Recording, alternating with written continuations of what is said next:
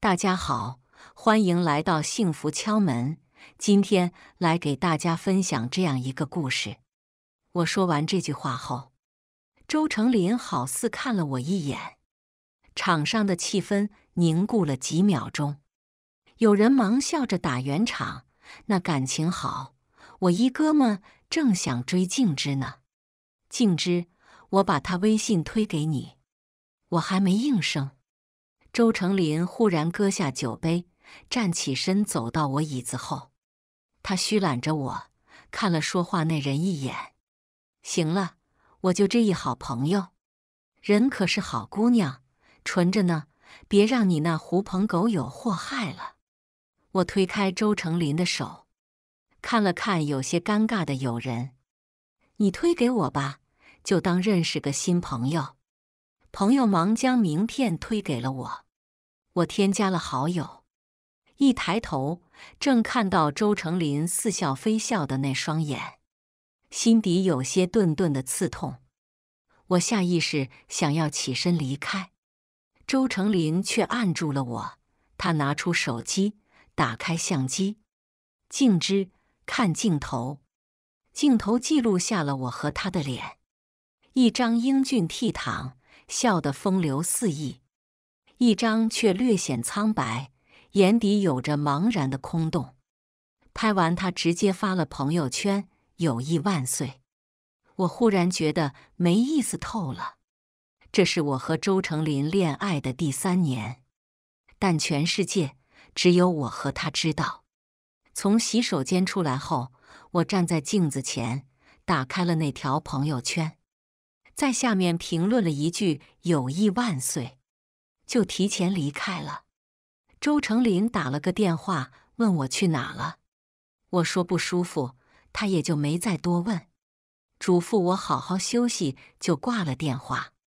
我没回自己的出租屋，而是去了周成林的房子。偶尔我会在他那里留宿，但客厅和其他公共区域没有我的任何东西。我的所有用品都收在主卧的盥洗室。周成林不愿公开我们的关系，我的私人感情不想拿到台面上任人议论。如果你能接受，我们就在一起。这是他给我的理由，无比的冠冕堂皇。其实，就算他不给我理由，我好似也无法拒绝。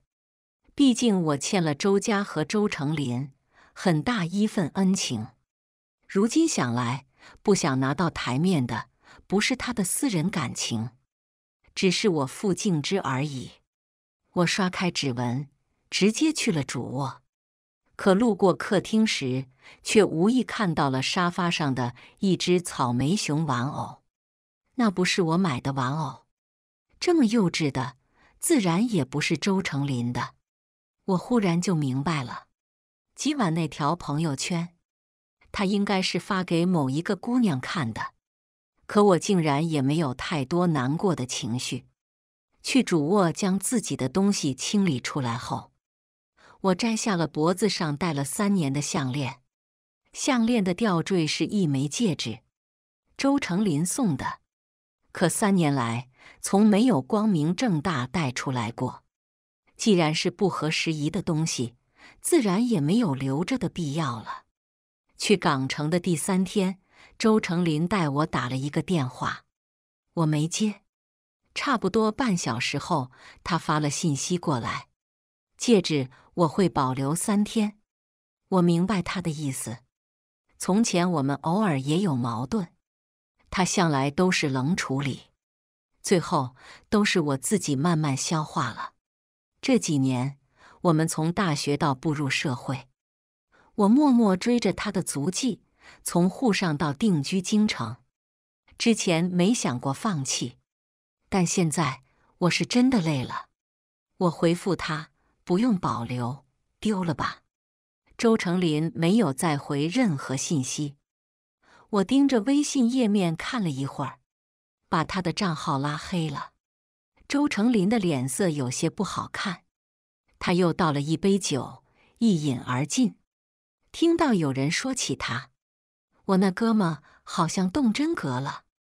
昨晚半夜还给我打电话，说是真喜欢他。周成林忽然将酒杯撂下，他不会同意的，让他别白费心思了。林哥，你怎么知道静之不会同意？周成林垂眸盯着手机，有一下没一下的划着屏幕。因为傅静之有喜欢的人，喜欢的要死要活。别说你哥们，就算神仙来了也没用。他说完，直接拿了烟盒起身出去了，关上门，喧嚣都留在了身后。周成林点了烟，再次划开屏幕。对话框仍停在傅静之那一句“丢了吧”，他狠狠抽了一口烟，却还是压不下心头的烦躁，干脆又撂了狠话：“已经丢了。”可是消息没能发出去，红色的感叹号有些突兀，他被拉黑了。周成林愣了一下，却又气笑：“挺好，傅静之还真是难得这样跟他闹。”那这一次就看看他能坚持几天。在港城的日子过得飞快，一眨眼已经过去一周。休假结束，即将回京前夜，我和朋友们聚会时，却遇到了高中时的一个学长。当穿着黑色商务西装、身姿颀长挺拔的顾燕京推门而入时，两个闺蜜不约而同地推了我一把，起哄起来。我有些不自在，也许是喝了酒，脸颊也很烫。但顾燕京站在那里，目光不遮不掩地落在了我脸上。静之，好久不见。我忙站起身，顾学长，好久不见。顾燕京落座后，闺蜜轻轻扯了扯我袖子，静之。我只是发了朋友圈说你来港散心，顾学长当天就点了赞。他这些年定居国外，很少回来，今晚就是冲你来的吧？我下意识看了顾燕京一眼，他微侧着身和邻座的朋友说话，一眼过去，正看到他锋利流畅的下颌线。上学时就沉默不苟言笑。如今看起来更是深沉内敛，让人害怕。我忙收回视线，又摇头。他刚才说了，只是路过，哪有那么巧的事？我才不信。可聚会结束，顾燕京却主动提出送我回去。我还没来得及拒绝，两个闺蜜就很默契的一起跑了。顾燕京没喝酒，就没用司机。回酒店的中途，我忽然接到了京城那边朋友的电话：“静之，明晚聚一下吧。林哥交了女朋友，要带来跟大家认识，这可是头一次，我可能赶不回去。你们去吧。别呀，林哥特意交代了，一定要喊你的。你们可是最好的朋友。”我望着车窗外一闪而过的繁华街景。低头笑了，只是普通朋友而已，我去不去都无所谓。静之没其他事的话，我就先挂了。说完，不等那边再说什么，我直接挂断了。又有电话进来，我一个都没接。慢慢的，手机变得安静，车子也停了。顾燕京侧过脸看我，静之到了。我没有回头，依旧望着车窗外，那一片纸醉金迷刺痛了我的眼，心脏里却只余下一片麻木。学长，我在玻璃上看到自己茫然却又空洞的眼，然后那句话就脱口而出了：“要不要跟我上去？”房间门关上那一刻，顾燕京捧住我的脸。低头深吻，他吻得很深很重，我有些慌，试图咬他，却又被他口吮住了舌尖，脑子里像是完全炸开了，一片空白，腿也软得站不住。顾燕京抱着我，揽我在他胸前，我嗅到了很淡的雪松香，隐隐的夹杂着烟草的味道，有点让人上头。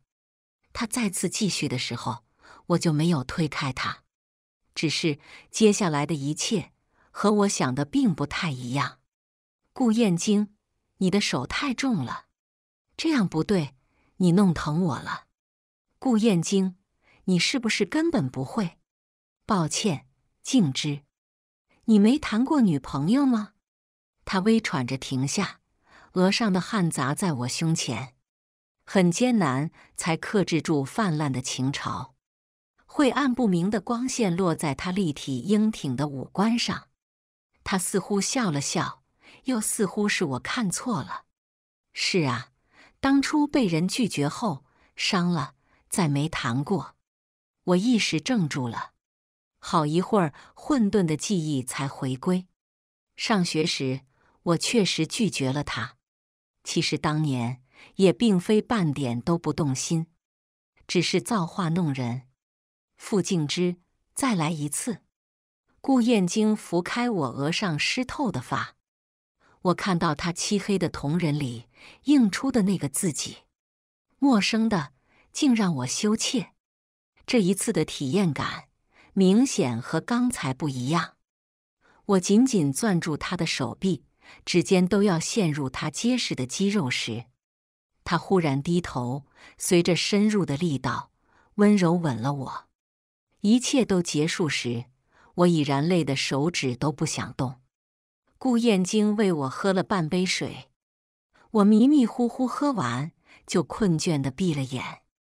意识迷离的时候，他好像握住了我的手。顾燕京，一个很轻很温柔的吻落在了我眉心。静之，晚安。坐在周成林身边的年轻姑娘很漂亮。是那种一眼看过去就惊人的漂亮，但却好似没有傅静之那样耐看。往日这个位置总是坐着静之的，现在换了新人，大家都觉得有些不习惯。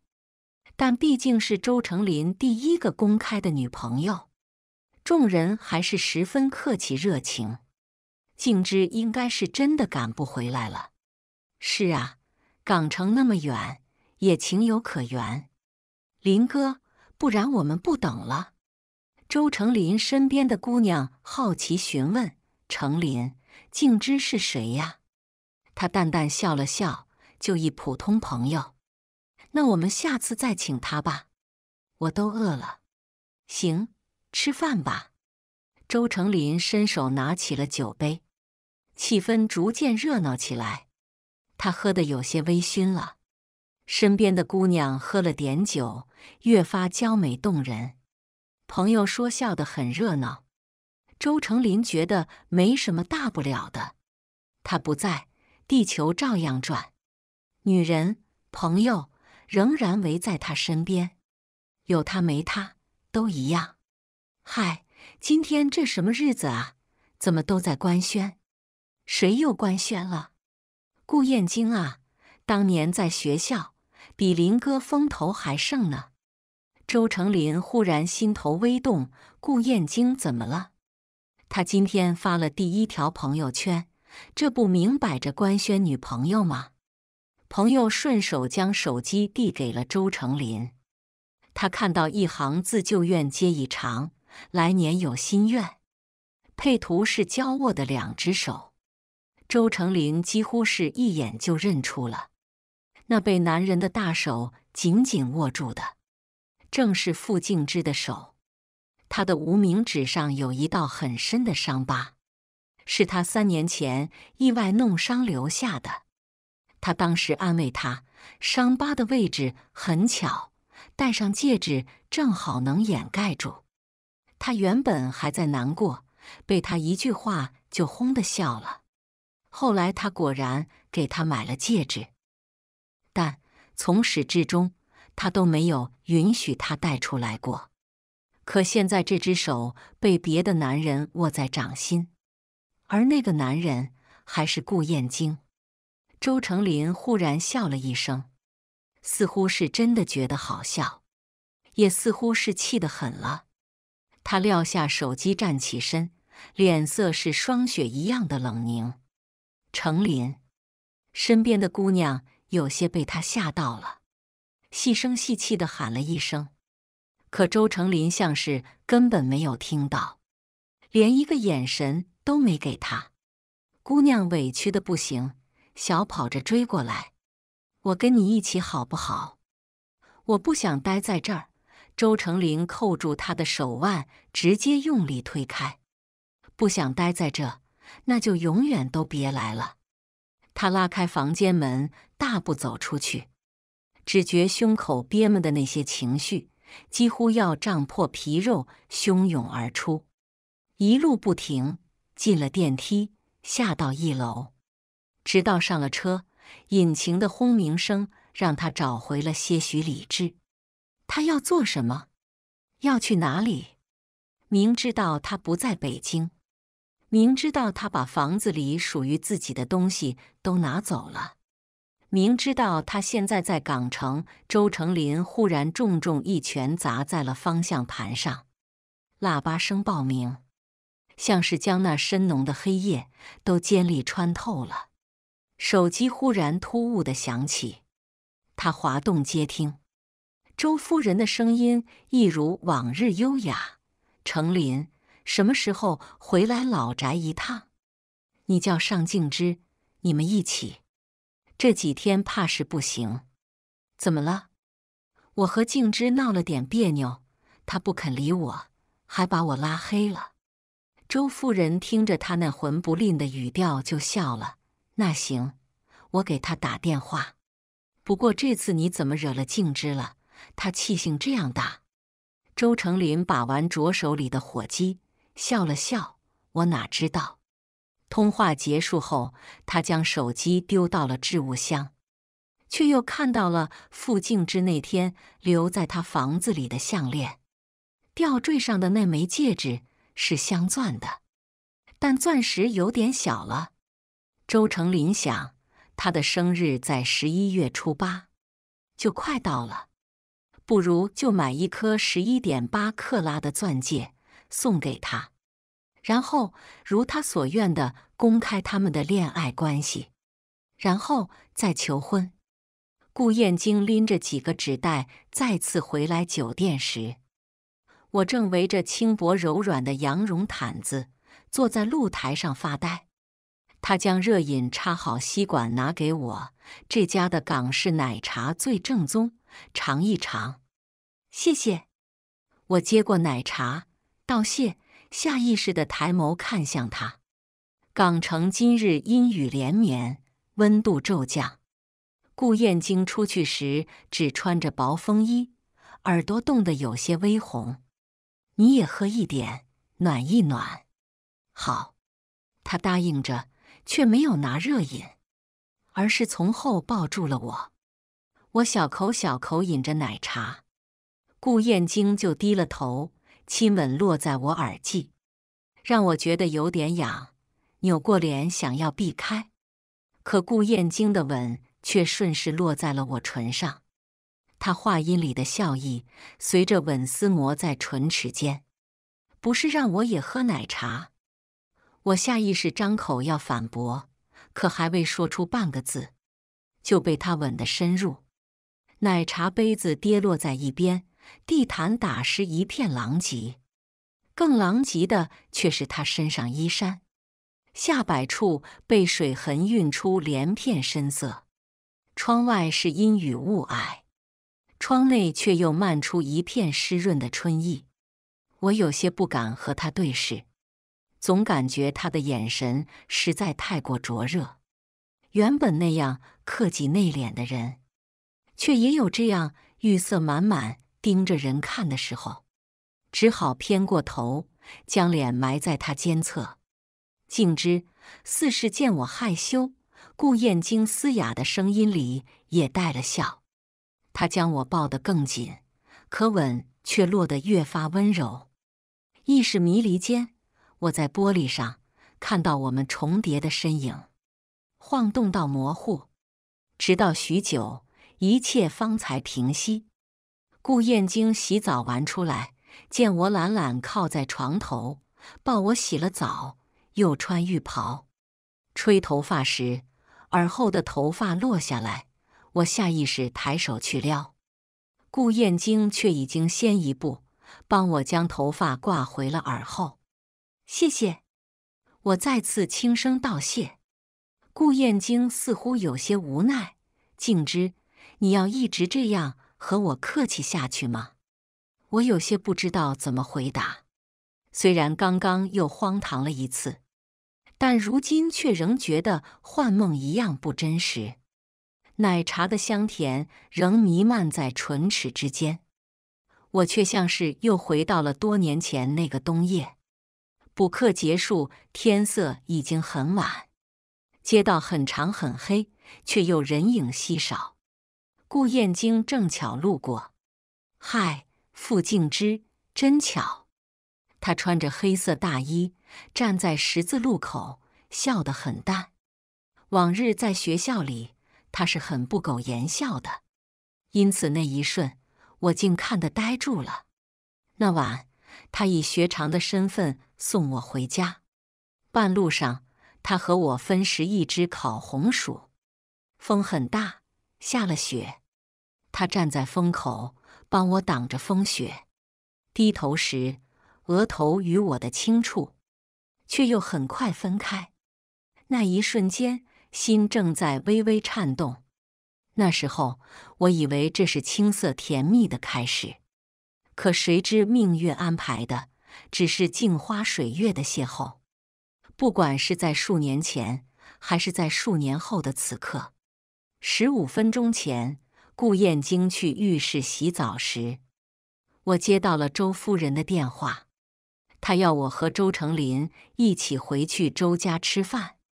原本我是婉拒了的，但周夫人说周成林的爸爸也在，他难得回来，想见一见我。听他提到周成林爸爸，我控制不住的心悸战栗，像是一个见不得光的犯人一般，坐立难安，手脚发抖冰凉。直到通话结束。我还没能缓过来，那一年对顾燕京的情愫初初滋生，还未曾萌芽时，是周夫人的一个电话，彻底改变了我的人生，也彻底让那份情愫天折在了萌芽中。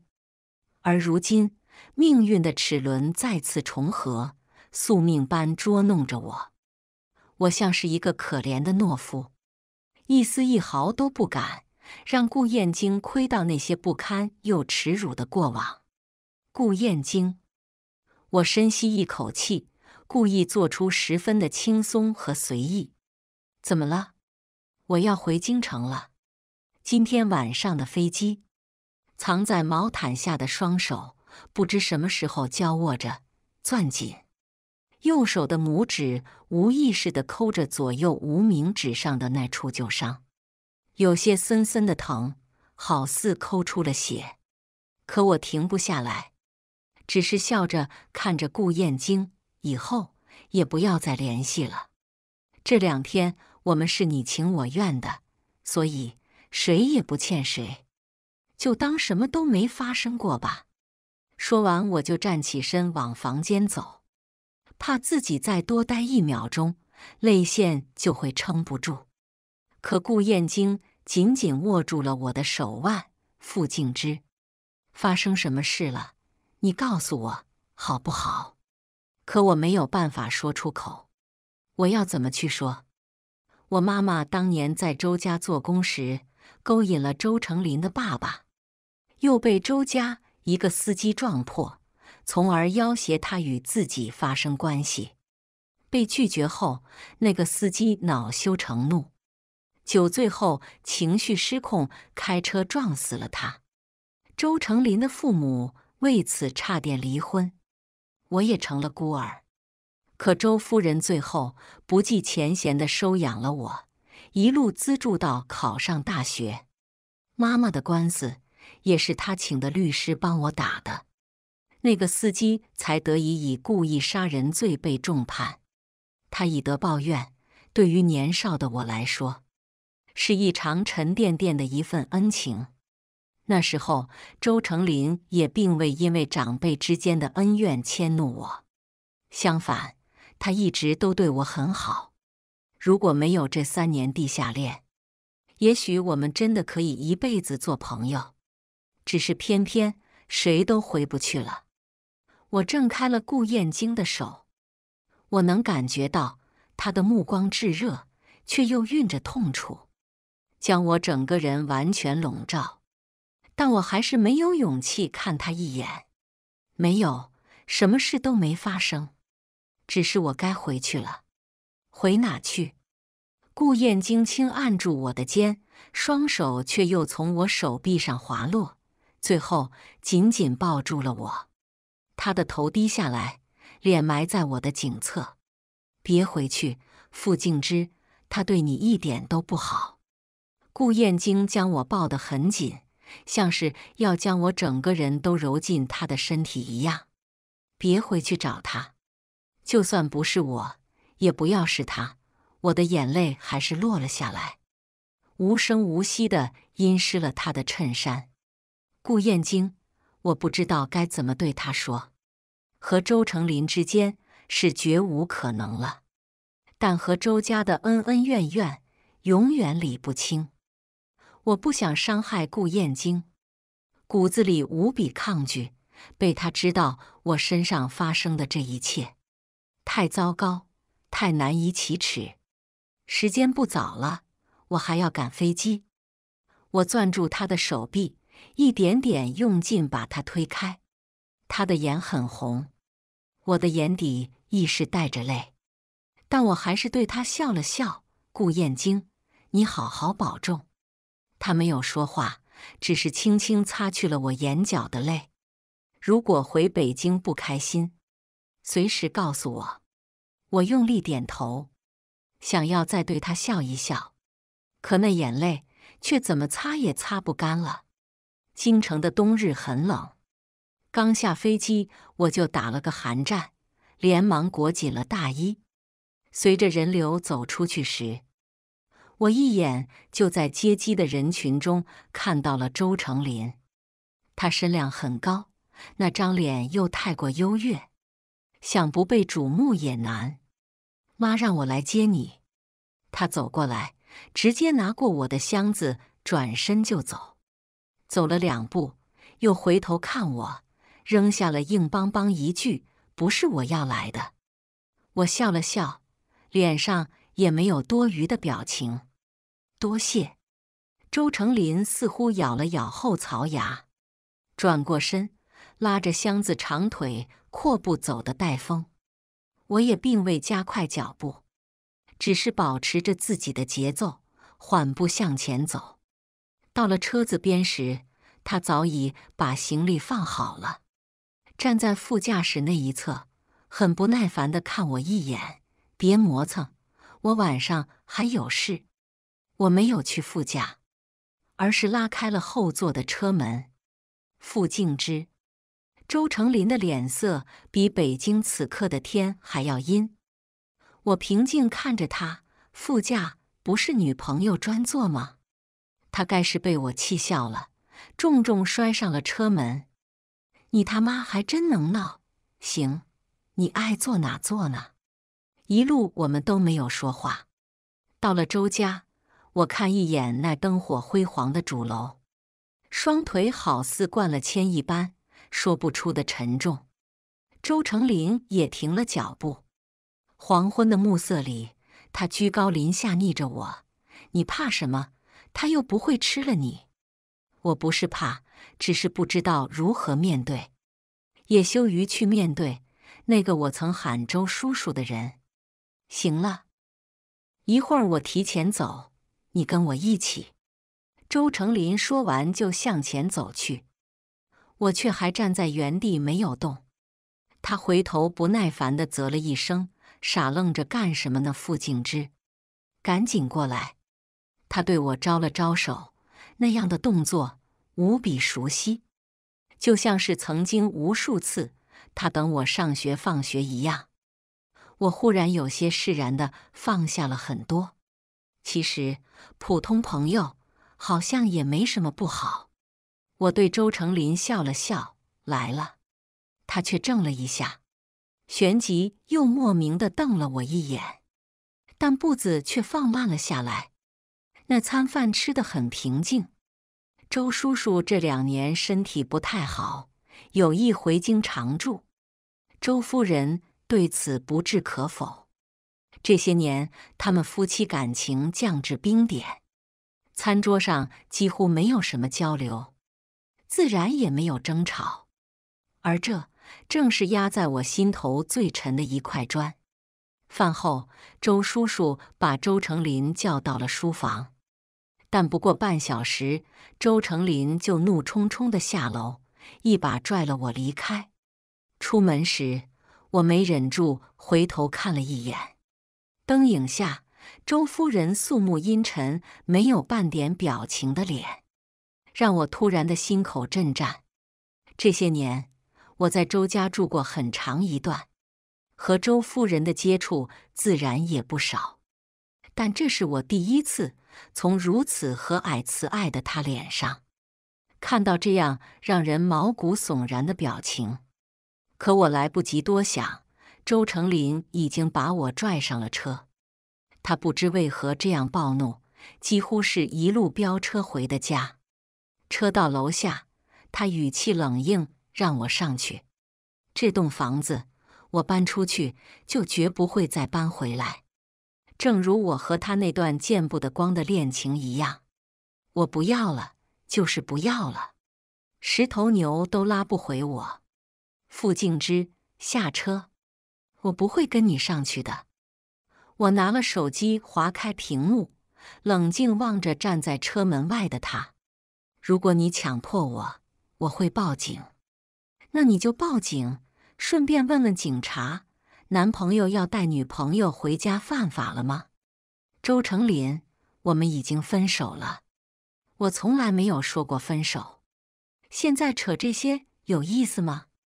我觉得好笑，却又疲倦的笑不出。周成林，我不想和你吵架，我现在很累，想回去睡觉了。你在机场不是说晚上有事吗？去忙你的事吧。我打车回去就行。周成林站在车外，夜色深深笼罩着他。他看着我的眸色，意识深深。好一会儿，他竟难得的妥协了。我送你回去。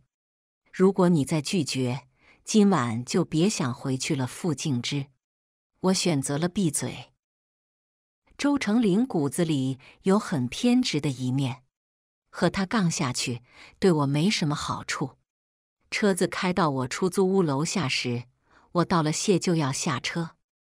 周成林却转过身叫了我：“初八你生日就是下周，等你过生日那天，我们就做个彻底的了断吧。”我想说，真的不必了。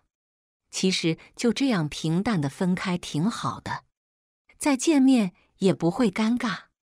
共同朋友那里也可以一如从前自在相处。爸妈说了，趁着都在京，要给你好好庆祝庆祝。你不会连恩人的面子也不给吧？周成林这样说，我就连拒绝的理由都没了。那行，你想怎样就怎样吧。我拉开车门下车，周成林也并未逗留。直接调转了车头离开。冬夜的风很冷，不过走了几步，整个人都被冷风吹透了。我低了头，拢紧了大衣，加快脚步向单元门走。快到楼下时，我忽然看到一侧的树影里，橘色的路灯将一道颀长的身影拖长。顾燕京穿着单薄的风衣，就站在北京深夜的冷风里，不知站了多久。我停了脚步，愣愣看着他。顾燕京，他向我走来时，北京落了初雪，雪片落在他的头发上、肩上，可他根本没有管，只是轻轻的拂去了我刘海上的雪花。时光呼啸着一般。又回到了那一年冬天，而顾燕京竟又从怀里掏出来了一个犹带着余温的烤红薯。他将烤红薯掰开，递给我一半，我怔怔的接过，直到甜香味在舌尖氤氲开，眼泪猝不及防的落下。他低着头，额头时不时的与我的轻触。我们就这样傻乎乎的站在北京的初雪里，吃掉了那只烤红薯。傅静之，他修长的手指落在我唇角。开掉了一小片黑色污渍，怎么办呢？我被家人赶出来了。为什么？我爸妈说，顾家几辈子都没出过不负责任的男人，所以我这样的异类就有家也回不去了。他在笑着，可那双眼却没有笑意。我感觉到心脏很细微的痛了一下，酸意瞬间弥漫。也许是雪下的渐渐大了，所以我的视线也模糊了。可是顾燕京，我不需要你负责呀。而且我也不是第一次。余下的几个字忽然被顾燕京的吻尽数吞噬。他的嘴唇很凉，大约是雪花融化在了他的唇上。可那个吻却又很炙热，几乎将我烧融化成雪水。傅静之，你知道的，我喜欢你，我不在乎那些。他捧住我的脸，又吻去我的眼泪。今晚，我在自己和自己打赌：如果你不回来，那我会努力劝自己放弃，不再打扰你；但如果你回来，那么这一次，我无论如何都不会再放手了。他目光灼灼看着我。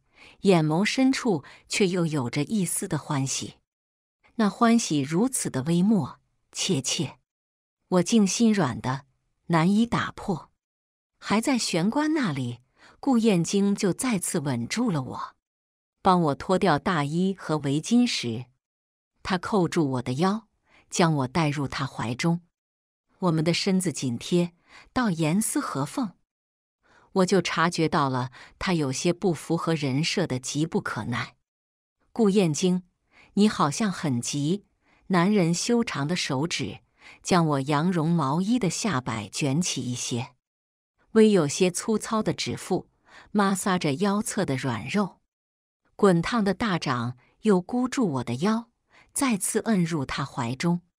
他吻得很重很深，我闭上眼。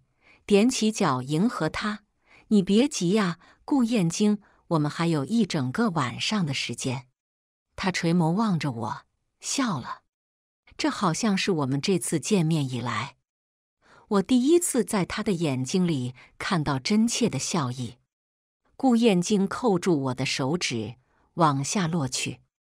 傅敬之，那说好了是一整个晚上，就一分一秒都不能少。那一夜，雪下了一夜，雪也融化了一夜。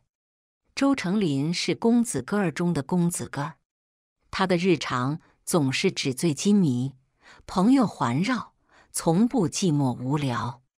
可这几日，他却时常觉得时间走得太慢，往日沉溺其中的那些乐子也变得味同嚼蜡。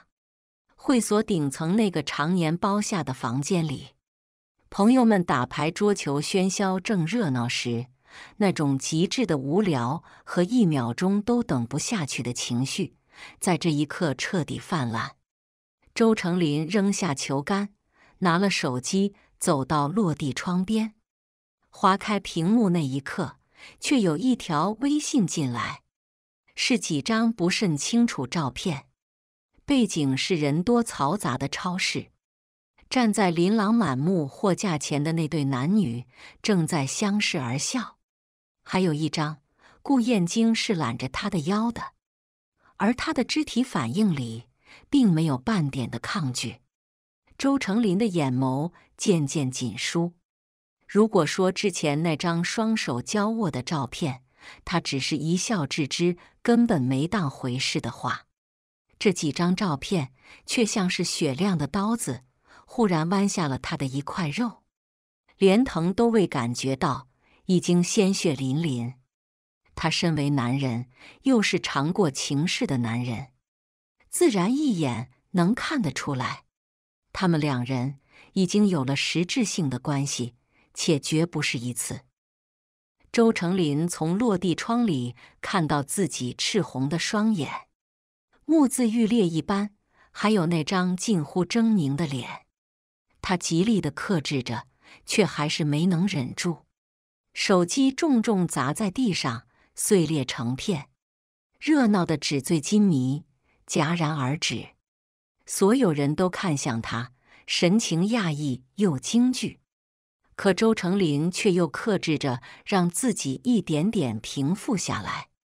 他回身看向众人，神情平和，声调也平和：“你们继续玩，都别停。”说着，迈步向外走。我出去一下，晚上不用等我。出了房间，门关上了。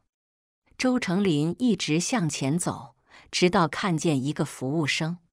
手机给我，他伸出手，那服务生不明所以，却还是立刻毕恭毕敬将手机拿出来递给了他。周成林拨了傅静之的号码，他的电话号码是什么时候烂熟于心的，他已经想不起来，但这些都不重要。他现在要听到他的声音，要见到他。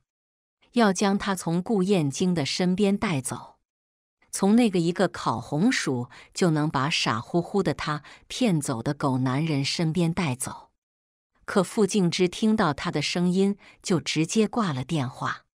他再打过去，他就不肯接了。周成林点了支烟，咬在唇角。他给傅静之发了一条信息：“别逼我直接过去找你。”第三个电话。他就乖乖的接了，想来是要躲着顾燕京，怕他听到吧。他的声音听起来做贼一样。周成林觉得心跳得很快，鲜血像是滚沸了一样，烧得他五内俱焚。傅静之，你现在去告诉顾燕京，说你只是一时冲动和他玩玩，你根本不喜欢他，也不可能喜欢他。让他滚回国外去，我会当做什么都没有发生过，原谅你这一次，也是唯一一次。电话那边是足足半分钟的沉默。周成林听到了自己呼吸声，甚至心跳。这几十秒，长得他好似窒息了一般。那晚在港城，也许是一时冲动，但现在不是。我高中时喜欢过他，现在再喜欢上，应该很正常。还有周成林，我们只是普通朋友，朋友之间无权干涉对方择偶的私事。我和你在一起时，没有得到过你的承认。现在我和别人在一起，做了什么，自然也不需要你来原谅。周成林，往前走吧，好聚好散。他说完，没有等他再开口，再次挂断了电话。周成林攥着手机，迟迟没有将手放下。他看到窗子外漫天的大雪铺天盖地降落，去年也是这样一场大雪，而那时候傅静之在他的房子里，他们一起煮火锅吃。吃完之后，他窝在沙发上追剧。他就枕着他的腿睡觉，快睡着的时候，他好似偷偷亲了他一下。他当时装着不知道，但心里却又矫情的泛了一丝甜。傅静之像他妈妈，长得很美，是那种男人都会喜欢、想要娶回去的美。他那时候一边不受控制的被他吸引。一边却又从内心深处不太看得上他的出身和糟糕的过去，所以从一开始他就告诉他不会公开，也不可能公开，因为他并不想让那些从小一起长大的哥们私下调侃他。傅静之的妈把他爸勾到手，傅静之又把他勾到了手。他们父子俩栽在这对母女手里，于他看来不是什么光彩的事。他一边喜欢着她，偶尔也会迷恋不可自拔，一边却又清醒地告诉自己，自己不可能娶她。他以为一切尽在掌控，毕竟周家对他的恩情太重了，所以他从来都对他言听计从，乖巧听话。三年过去，他几乎都要忘记。傅静之年少时也是率直活泼的姑娘，拿得起放得下。他不要她了，干脆利落，不留后路。如他所愿，他们只是朋友。这一辈子都只是朋友而已。周成林想到这里，忽然从衣袋里拿出了那个不离身的丝绒锦盒，十一点八克拉的钻戒，本来是要在明天他的生日上送他的，可现在他在盒子里璀璨夺目的闪亮着，像在嘲笑他。周成林将手机和盒子都给了那个服务生。谢谢你借我手机，这个钻戒我用不上了，送给你吧。他说话的样子倒是难得的平和又温润。那服务生无比的震惊，想要推拒，可他已经转身走了。我生日那天和顾燕京约定了，等我从周家回来，再和他单独过，就我们俩好好庆祝。他送我走的时候，穿着我买的黑色羊绒大衣，格外英俊帅气。我看他有些不舍、失落，就踮了脚，轻轻亲了亲他。你在家等我呀，我们吃火锅。顾燕京点头，却又把我抱在怀里亲吻，一直到周家接我的车子过来，才恋恋不舍分开。我上了车，车子开出去好远。顾燕京还站在路边，大雪飘飘扬扬，像是要将整座城市覆盖。我趴在车窗上看着他，直到再也看不到了，才收回视线。周家给我办的生日宴，周成林没有来。他之前说要在我生日这天和我彻底了断，如今倒是不必了。那天电话里我说的那些话。高傲如他，自然不可能再一次低头。这样也好，风过无痕一般，回到了真正朋友的状态。我下车时，觉得周家老宅里的气氛不太对，很安静，连佣人的身影都不见几个。莫名的，我心里有些隐隐的害怕。不知怎么的，就想到了那天周夫人无比阴沉可怖的脸。我停了脚步，按了包里的手机，给顾燕京打了一个电话，响三声挂断。这是前几天我们一起追剧时里面的一个情节。电话响三声挂断，表示遇到了不确定因素或者潜藏危险。顾燕京一定会明白，也一定会第一时间赶来。佣人把我送到主楼。就离开了。周夫人穿了一件双色的立领旗袍，坐在沙发上，见了我就笑着招手让我过去喝茶。她雍容优雅的脸看起来依旧慈爱温和。我实质有些怀疑自己是不是太过敏感，或者那天根本是我看错了。来，静之，陪我喝杯茶。碧色的茶汤微微漾开，清香扑鼻。我端起茶盏，小口抿着。周夫人却忽然站起身，差点忘了给你准备的礼物。你等我一下，我去楼上拿。我忙跟着起身，却只觉一阵天旋地转。周夫人赶紧扶住我：“静之，你这是怎么了？看你脸色很不好。”我扶你去房间歇一歇吧，还是你之前住过的那个房间一直都有人打扫？我睁不开眼，身上又软的没有力气，迷迷糊糊之间，只感觉扶着我的好像换了一个人。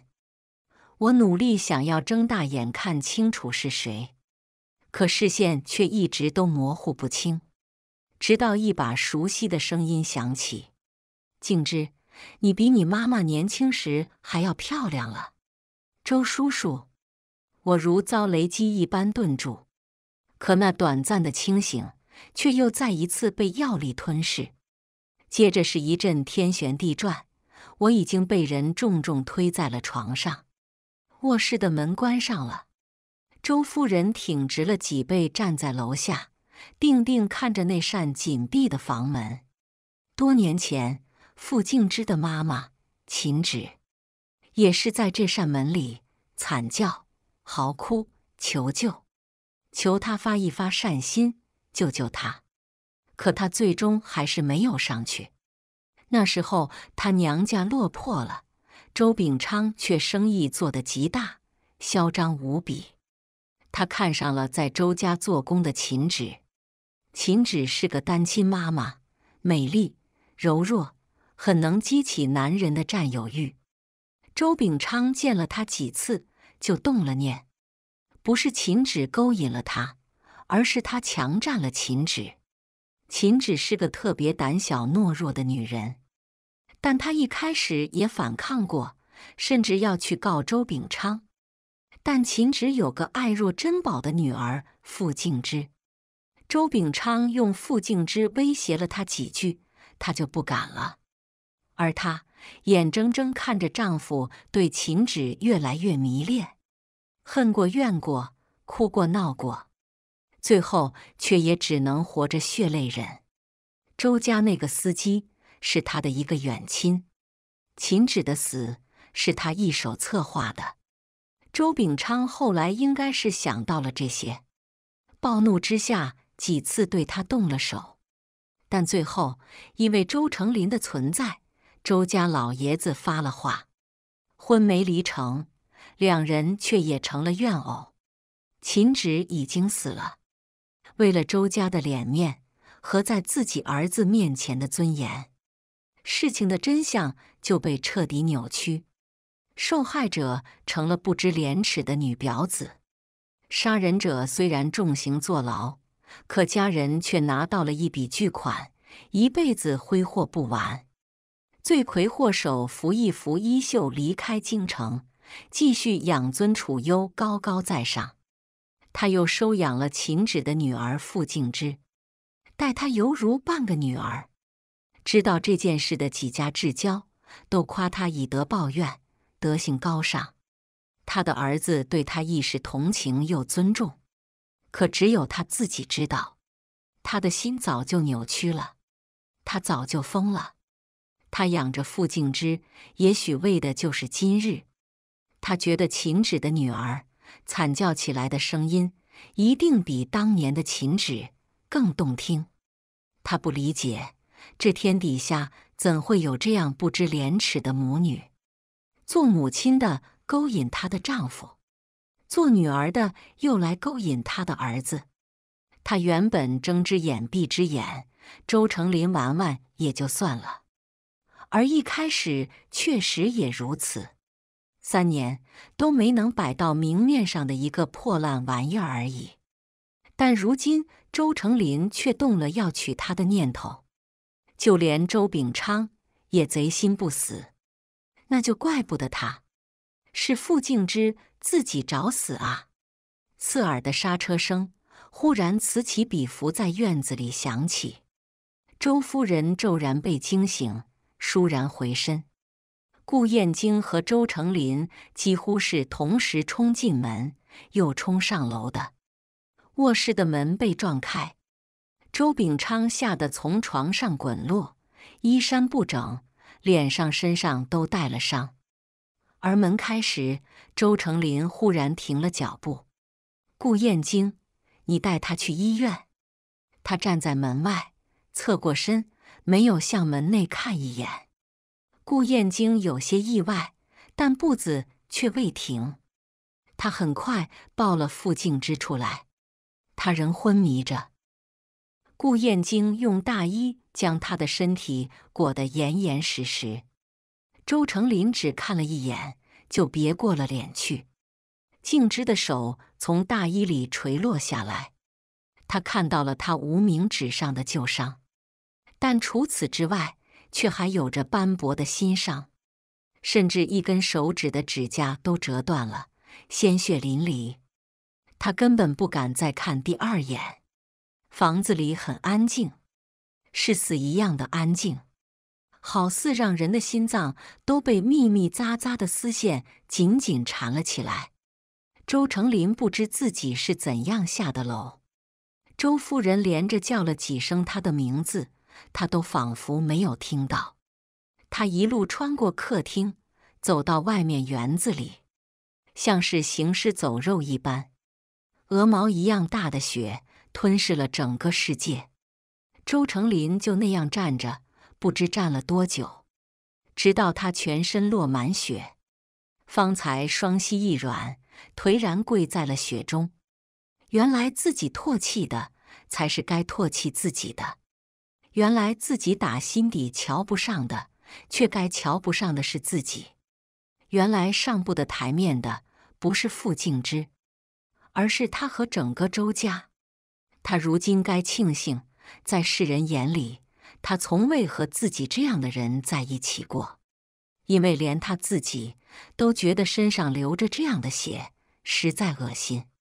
我醒来的时候，发现自己是在医院，而顾燕京就守在我的床边。看到我睁开眼，他满布红血丝的眼立刻就亮了。静之，你醒了。我轻轻点点头，觉得嗓子里很痛。像是吞了一把木炭，是不是想喝水？顾燕京连忙起身，兑好了温热的蜂蜜水，拿过来床边，又将我抱起来，靠在他怀中，为我喝下。等会儿再喝一点粥。顾燕京摸了摸我的额头，很自然的低头亲了亲我。我下意识看向他，还没问，他却好似知道。我要问什么？什么都没发生，别怕。顿了顿，他又道：“其实这次该谢周成林，如果不是他，我们不会赶过去那么快。”我靠在他怀里，缓缓转过脸，看向窗子外，雪还在下吗？雪停了，明天应该是晴天。静之，以后每一天都是晴天了。一切尘埃落定，所有该受到惩罚的人都被法律公正无情的制裁后，我的心事终于也可以彻底放下。顾燕京陪我去看了妈妈，他之前的墓地在墓园最偏僻的角落，因为当时的他活得不光彩，死的也太惨烈。那块墓地还是周夫人出面买下的。我当年真的很感激，但如今再回头想，却又无比唏嘘。我将妈妈的骨灰从这片墓园迁了出来，顾燕京买了一处新的墓地，在妈妈生日那天给她搬了家。那里有青山小河，绿树婆娑，还有漫山遍野的花，妈妈一定很喜欢。我在妈妈的墓前跪了很久。忏悔我的过错，为我年少时怨过她，为我曾经也在心里恨过她。我跪了多久，顾燕京就陪我跪了多久。我一开始在哭，后来却又抱着妈妈的墓碑笑了。妈妈在我身边的这个人叫顾燕京，他很喜欢我，对我很好。你在九泉下有知，就放心吧。顾燕京却握住了我的手，他很认真、很认真的开口：“阿姨，我不只是很喜欢他，风吹过，春草如波，而是很爱、很爱他。我的心像是被柔软的羽毛拂过，又酸又涩，却又膨胀着丝丝缕缕的甜。我仰脸看着他，不由含泪笑了。我告诉他，我刚刚。”在妈妈跟前许了愿，他揽着我，轻声问：“许了什么愿？”我抿嘴轻笑，旧愿皆已偿，来年有新愿。当然不能说出来，说出来就不灵了。顾燕京一点点抱紧我，他唇角眼底都带着笑，那笑意渐渐深浓，带了化不开的柔色。他应该是也想到了在港城那一夜，那晚的月色，那晚的我和他，那晚他发在朋友圈里的那一句。如今我在他身边，也这样轻轻说了出来。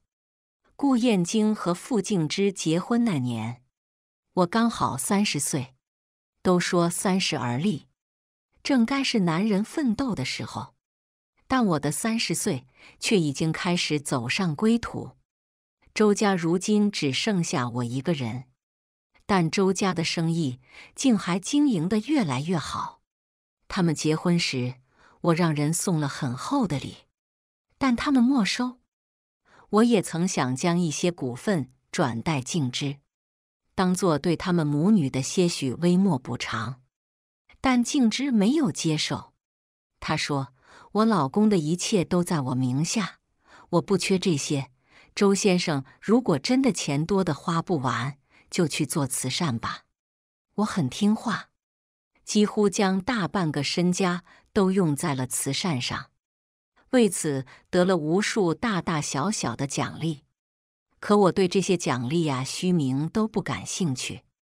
我想要的其实很简单，几乎是唾手可得。比如天气好的时候，我也可以坐在静之家的园子里和他喝喝茶；比如他煮火锅的时候，我也可以添副碗筷吃上几口。但我其实很清楚，这些却一辈子都没有可能了。他曾经说过。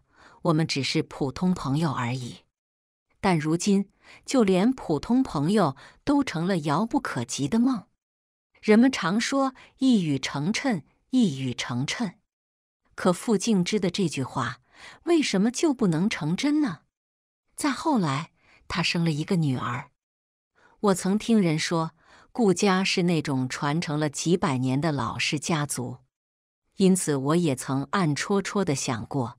顾家人会不会重男轻女，不喜欢静之的女儿呢？